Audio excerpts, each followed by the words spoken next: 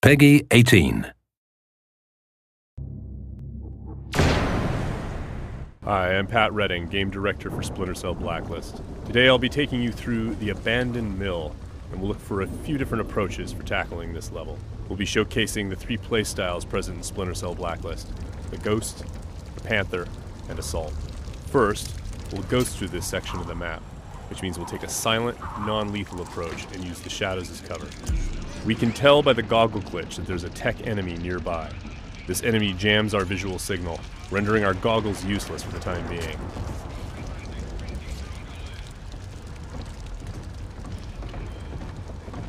Oh, come off it. That was never offside. What the hell are you watching? Some game from South America. There are a number of enemies below, so let's look for another way down.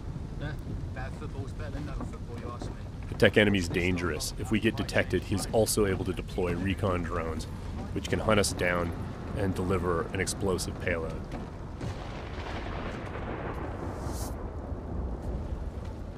Now that Sam is in the shadows, we can take out the tri-rotor safely and do some reconnaissance to figure out where that tech enemy is located.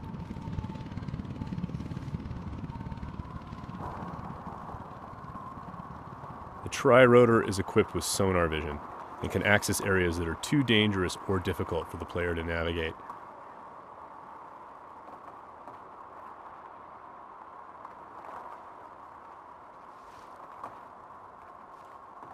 The tri-rotor can also mark enemies that are out of line of sight, perform non-lethal takedowns, attract enemies, or detonate itself if things get messy.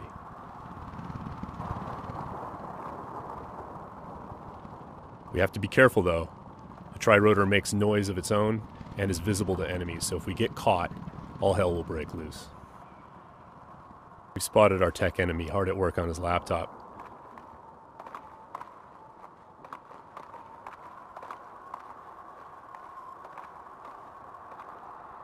Now we're going to use the sticky shocker to take him out. Of course, that's going to leave a telltale body lying around for the enemies to discover and get alarmed with. So we need to move quickly. What have we got here? What's that? One way for us to manipulate the AI is just to attract them outright with a whistle or a whisper.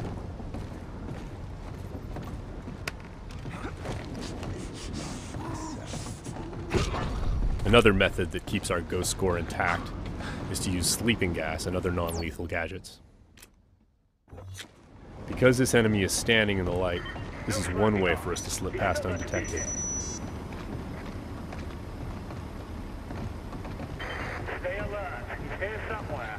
The game detects individual actions that fit within the Ghost playstyle or Panther playstyle or Assault playstyle and awards points accordingly. As always, Splinter Cell is a game about light and shadow and using it both to hide and as a weapon against the enemy. Sam can create shadows when he needs to. Now, as you can see, Sam's iconic night vision goggles are back. Our AI is dynamic, which means when they discover that things are disturbed or not where they're supposed to be, they'll come and investigate. Sometimes the player can use that for their own benefit.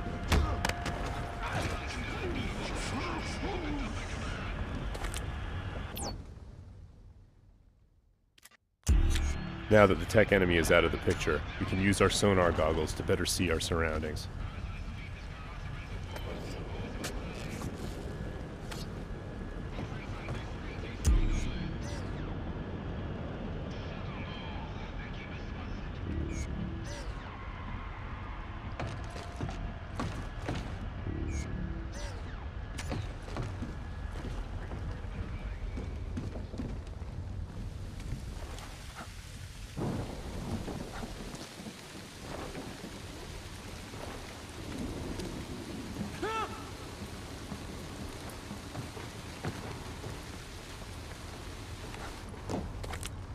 Out cold, still breathing.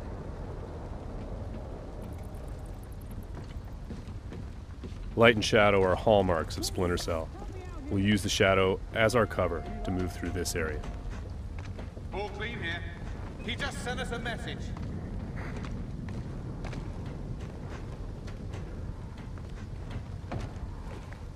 What's your back? We've got to be close. Come up now and I'll treat you gentle. I'm gonna sit tight right here.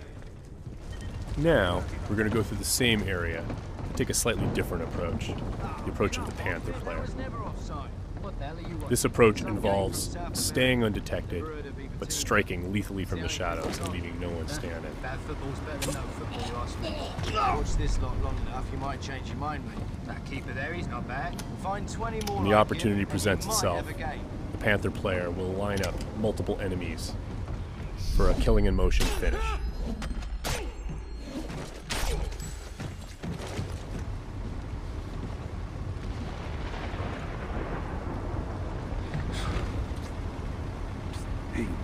And as with the Ghost, it's still possible to attract and manipulate the AI.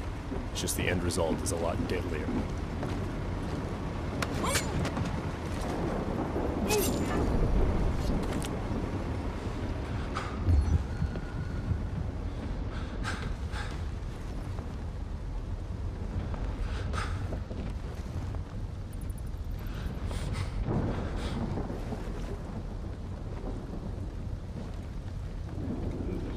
Panther, mark and execute is not only an opportunity for killing in motion, the opportunity to move into a close quarters kill is all part of a chain series of takedowns.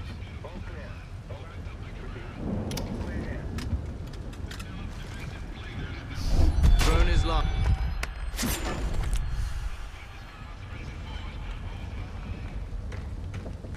Now let's go through the same area a third time, this time to see how the assault player will handle it.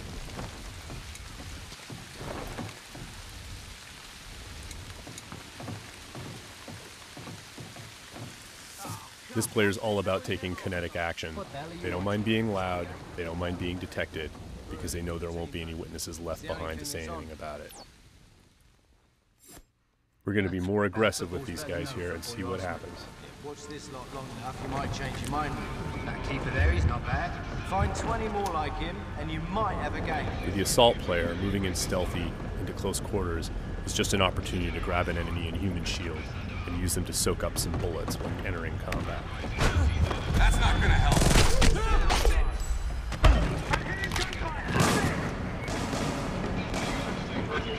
Last known position can be used to mislead our enemies. Because we were detected, the enemies are now on alert, and the tech enemy has launched his drone attacks.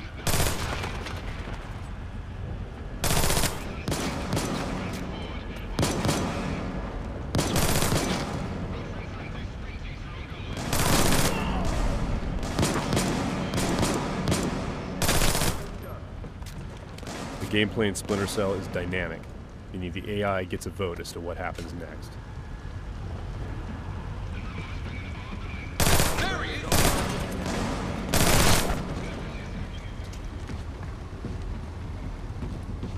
Let's keep advancing and take that tech AI out with some hand to hand.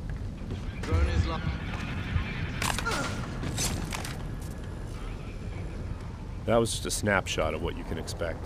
Stay tuned for more Splinter Cell news in the weeks to come.